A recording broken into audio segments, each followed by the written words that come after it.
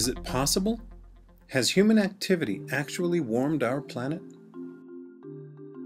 Could the processes of the Industrial Revolution and human industrial output alter the climate system of Earth?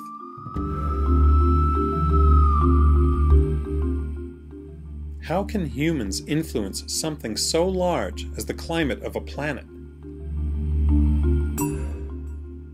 These questions and more are contentious issues in the public mind.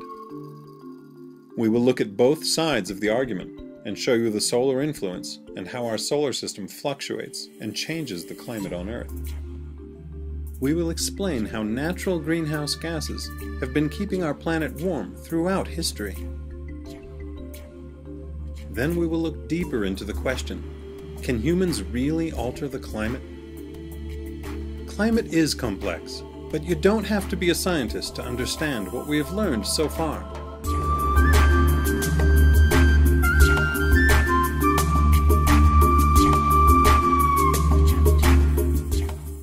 We will examine the famous hockey stick argument. We will take a look at how CO2 really does lag behind climate change in the natural cycle. And we will show you how much volcanoes influence the climate on Earth versus industrial greenhouse gases and even galactic cosmic rays.